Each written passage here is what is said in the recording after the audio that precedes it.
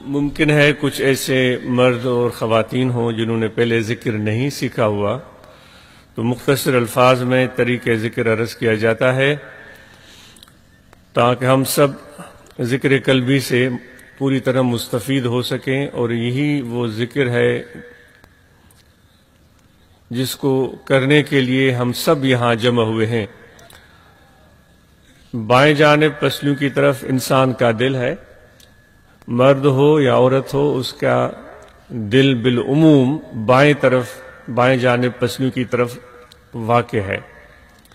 आप अपने दिल की तरफ़ तवज्जो करें, खड़े हुए, बैठे हुए, लेटे हुए, सोए या जागे, वज़ू हो या न हो, सांस आता जाता रहे, जबान खामोश रहे, तवज्जो रहे कि आपका दिल पुकार रहा है, अल्लाह अल्लाह अल्लाह अल्लाह। अल्लाह अल्लाह अल्लाह। ये ज़िक्र ज़िक्र खफी है, जुबानी ज़िक्र अपनी जगह होता रहे। लेकिन कलबी ज़िक्र के लिए आपने अपने दिल की तरफ़ तवज्जो रखना है और ये मश्क दिल में करनी है।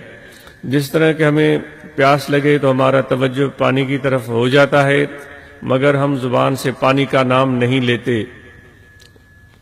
बिल्कुल इसी तरह जिस तरह एक प्यासा आदमी अपने दिल में पानी को याद करता है और वो ज़ुबान से पानी का नाम नहीं ले रहा होता, बिल्कुल इसी तरह आपका ख्याल दिल की तरफ़ हो और दिल में अल्लाह तला के नाम इसमें ज़ात यानी अल्लाह, इसका विरद जारी रहे। अल्लाह अल्लाह अल्लाह अल्लाह। अल्लाह अल्लाह अल्लाह अल्लाह अल्लाह अल्लाह। क्योंकि अल्लाह तबारक व ताली इरशाद फरमाता है, बिस्मिल्लाहिर्रहमानिर्रहीम, फजकुरूनी अजकुरकुम। बस तुम मुझे याद करो, ए मेरे बंदे तो मैं तुम्हें याद फरमाऊँगा। जैसे ही आप और हम अपने परवरदिगार को, अल्लाह को याद कर रहे हैं तो वो हमें याद फरमा रहा है। मशहूर बुज़ुर्ग जिसका ज़िक्र इमाम गजाली रमत अपने किताब एहालूम में फरमाते हैं कि वो अपने दोस्तों को कहते थे कि जब अल्लाह मुझे याद करता है, मुझे, अल्लाह तला मुझे अर्श पर याद करता है, मुझे फर्श पर पता चल जाता है। तो लोगों ने अर्ज़ किया कि कैसे आपको, या हज़रत कैसे आपको इलम होता है? आपने फरमाया कि मैं, मुझे अल्लाह तला के वायदे पर यकीन है।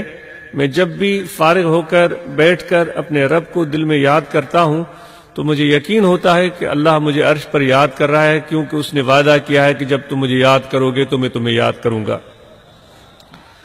तो आप कितने खुशकिस्मत हैं कि आप ज़िक्र कर रहे हैं और अल्लाह तबारक व भी आपको याद फरमा रहा है। वो मर्द हो या खातन हो। और ये ज़िक्र हर हाल में जारी रहे, काम में भी और फरागत में भी, सुबह और शाम में भी, रात, दिन और रात में भी गर्मी और सर्दी में, खिजा और बहार में सेहतमंद हो या खुदा न खास्ता बीमार, अमीर हो या गरीब, जवान हो या बूढ़ा, हर शख्स हर वक्त अपने रब को याद करता रहे, अल्लाह अल्लाह अल्लाह अल्लाह अल्लाह अल्लाह। मुर्शद कामिल के साथ नस्बत व रबता रखना जो कि बुनियाद है इस तरीके आलिया में। क्योंकि वही रहनुमा होता है अल्लाह तला के कुर्ब की मंजिलों में ले जाने का। तो उसके साथ नस्बत व रबता रखते हुए, अपने दिल के, दिल का काबा व किबला मुर्शद कामिल को समझते हुए, उसकी तरफ़ मुतवज और मुंतजर रहना, ये फैज़ के हसूल का बायस होता है। और फिर साथ में ज़िक्र भी, अल्लाह अल्लाह अल्लाह। अगर कोई ज़िक्र करे, लेकिन मुर्शिद कामिल के साथ नस्बत मोहब्बत में कमी है तो इम्कान है उसका ज़िक्र किसी वक्त उससे भूल सकता है, वो गाफिल हो सकता है। लेकिन अगर वो मोहब्बत में पक्का है, ताल्लुक में पक्का है, रबता में मज़बूत है, और ज़िक्र में कमी है तो इस मोहब्बत और ताल्लुक और रबता की मजबूती की वजह से वो कभी भी नाकाम और नामुराद नहीं होगा और उसको एक न एक दिन ज़िक्र भी नसीब हो जाएगा।